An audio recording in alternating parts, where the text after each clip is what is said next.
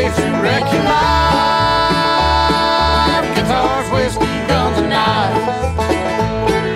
Before I got this mark box, where I put my guns